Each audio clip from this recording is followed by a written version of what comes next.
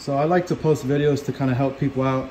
Um, this video is not really anything that pertains to my channel, but uh, I have here a 2017 Chevy Equinox. I'm going to be replacing the liftgate strut, the actual power one on the driver's side. So let me just give you an idea of what it looks like.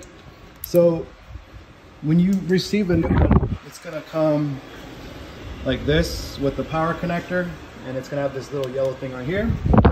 So on the driver's side, you follow it down and you go to the corner right here, it's gonna have this little uh, plastic clip along with the rubber plug, which is this guy right here.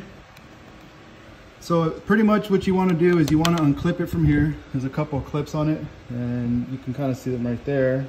There's two on each side, so it's four total. And then on the inside, what you want to do is you want to remove the two bolts here and here. They're both star bolts, which are going to be these guys right here, the little brackets. Then you're going to want to take off the little SRS plug or the cap. There's a small bolt in there. It's a size 7. There's also another one up in that corner there where the seat belt's at. Uh, you want to remove that as well. It's the same thing as this one, the SRS. You remove the little uh, clip, or I'm sorry, the plug, and then there's a screw behind it.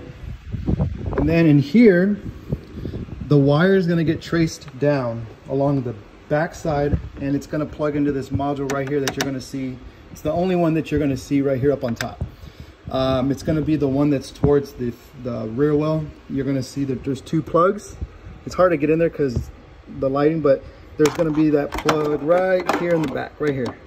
That's going to be the white plug. In this case, it's going to be, yeah, it's a white plug. The stock one is the white plug. The new one is going to come with the gray one. So don't get confused with that. They're not the same color, but it's still going to be the second connector.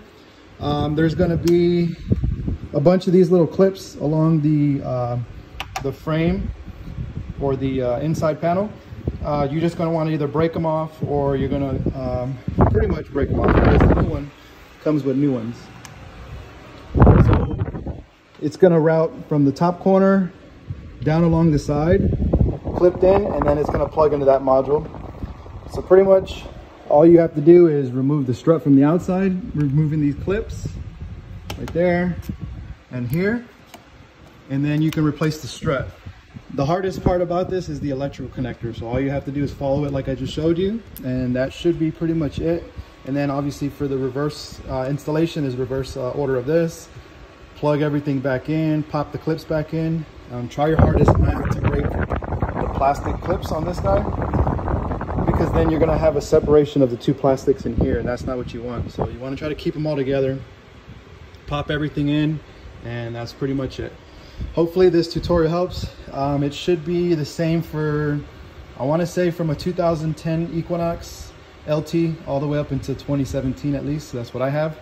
Um, this is for the liftgate power uh, strut and the passenger doesn't have power and it's just a uh, regular um, strut. But it also has a GM number that you need to get so it's you can't just go to like O'Reilly's and pick one up. It's not the same. It has to be like this thick type right here. Anyways i'm hoping this helps out people. Um, if you have any questions just comment down below. I'll try to answer them as best as i can. Anyways thank you for watching